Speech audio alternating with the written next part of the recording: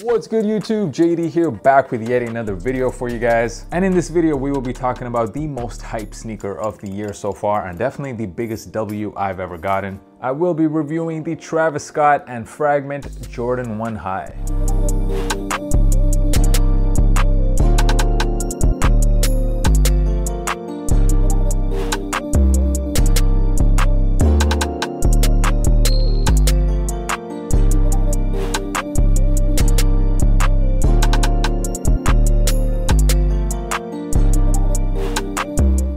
What up fam, I hope you guys are doing well and absolutely killing it. If this is your first time on the channel, my name is Josh, you can call me JD, and I'm just a guy who has a bit of a sneaker addiction and I love making videos and content for you guys as well. So if you haven't already done so, hit that subscribe button. I'm very close to hitting that 50K mark. It would mean a lot if you guys are subscribed. And of course, definitely follow your boy on IG. The handle is right here. It is at JDKicks6. I drop a lot of content on there, including fit pics, some outfit ideas. I also give you guys previews of what what sneakers I'm about to review and definitely I am very engaged on there. I talk to pretty much anyone who DMs me, so make sure you guys follow your boy on IG.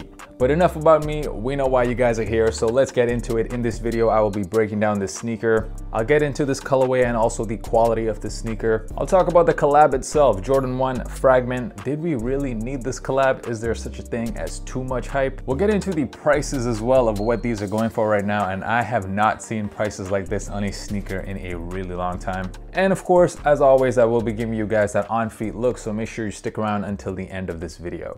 So here it is, the Fragment Travis Scott Jordan 1 High. Before we even get into the video, put a word in the comments. What is the first word that came to your mind when you saw this sneaker? A lot of you guys were asking me on Instagram how I was able to cop these. Well, I don't know how I got this lucky, but I somehow hit on the sneakers and stuff raffle I actually didn't believe it when I got the raffle email because in the past I've had raffle wins from sneakers and stuff that ended up getting canceled. So I was like, man, until I see this in hand, I'm not gonna believe that I actually got these for retail.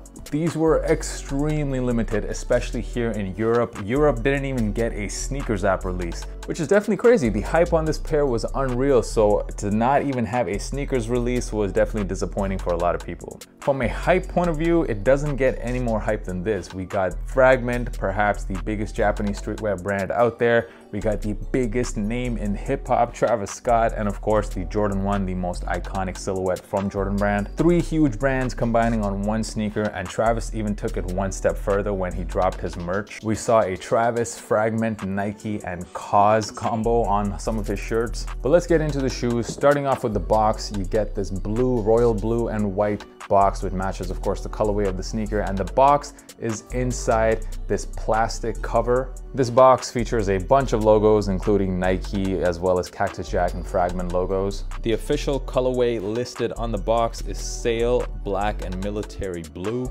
Getting into this colorway, most of the sneaker is actually done in this white color. That's the base of the shoe. And then we got some hits of this military blue on the toe box as well as the back panel of the shoe. And this colorway was in fact an unreleased colorway from the Jordan archives. It was supposed to be called the reverse royal colorway. And that is where Hiroshi Fujiwara, who is the creator of Fragment, that's exactly where he got his inspiration from when choosing the colors for this collab. The swoosh on the lateral and medial sides done in this black leather. And of course, on the lateral side, we have that iconic Travis Scott reverse swoosh, which we first saw on his OG collab, which I do have back here. This was the Mocha pair. The midsole is done in this faded color. It looks like an off-white or eggshell color.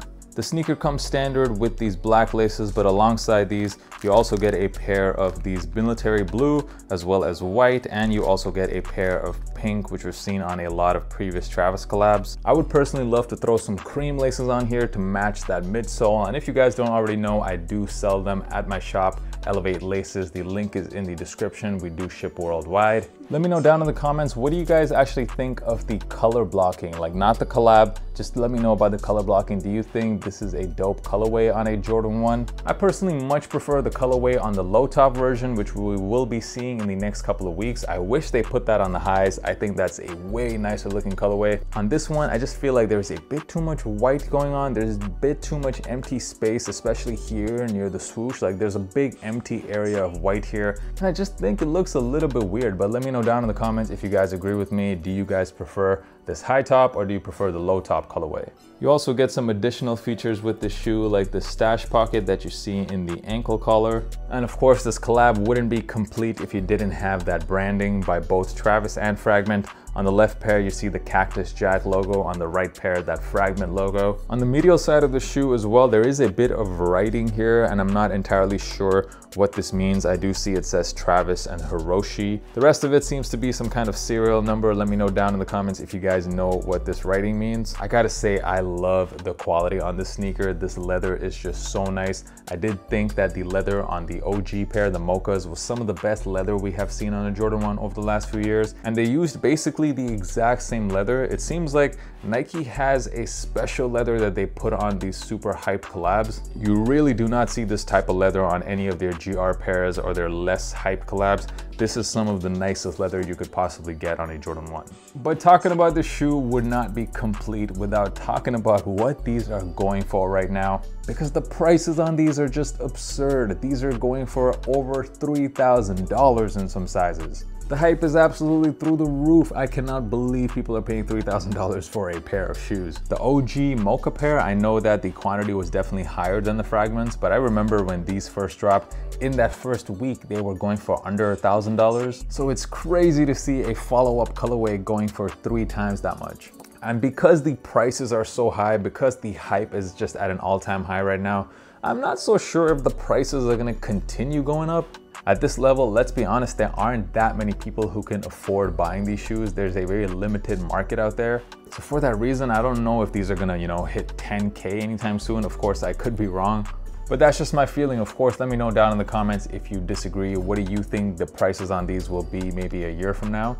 But let's wrap this thing up. The Jordan 1 Travis Scott Fragment, is this a cop or a drop? For those of you who are new to the channel, this is the part of the review where I just give you my feedback, what I think of the sneaker, whether I personally think it's a cop or a drop. And listen, man, you guys might disagree with me here. I might get a lot of thumbs down for saying this, but I'm not really in love with these. The main reason being this sneaker kind of represents what I really don't like these days about sneaker culture and just sneakers in general. In the past, a collab used to mean something. There was a good story behind it. A lot of thought went into it. It wasn't just a collab for the sake of being a collab. But now it seems like collabs kind of work like this. Hey, you got a hype brand? Cool, let's make a shoe together and let's sell some pairs. And that is exactly this shoe feels like to me. We got the hottest rapper in the world, we got the hottest Japanese brand, we got the hottest Jordan 1 model. This collab really feels like it was created for one reason and one reason only, to generate as much hype as possible, to feed that hype machine. And I wanna say specifically, Nike seems to have created this appetite for hype that they gotta constantly, you know, keep feeding with more and more and more hype things. Like I'm pretty sure next year at some point, we're probably gonna see an Off-White and Travis collab. Because what else can you do after doing something this hype? You need to create something even more hype. And that's kind of what I don't really like about the shoe, what it represents. Also the colorway, like forget about hype, just the colorway alone, I'm not really feeling all this white on the shoe. I prefer the low tops. And I certainly don't think they're worth the prices that they're going for, but that is my opinion. Of course, a sneaker is worth however much someone is willing to pay for it, so my opinion definitely doesn't matter. But yeah, guys, for me, the Travis Scott Fragment Jordan 1 Highs, these are a drop. Once again, don't forget to follow your boy on Instagram. The handle is right here at JDKicks6. Let me know down in the comments what did you guys think about this video. Also, one more thing, just wanted to plug the podcast if you haven't already heard it. We just did an episode recently actually talking exclusively about what a collab is worth nowadays. So make sure you listen to that, the Kickback Pod, available Spotify, iTunes. And thank you guys so much for supporting the channel and for watching this video, the on-feet portion of the video dropping right now. And I'll see you guys next time. Peace.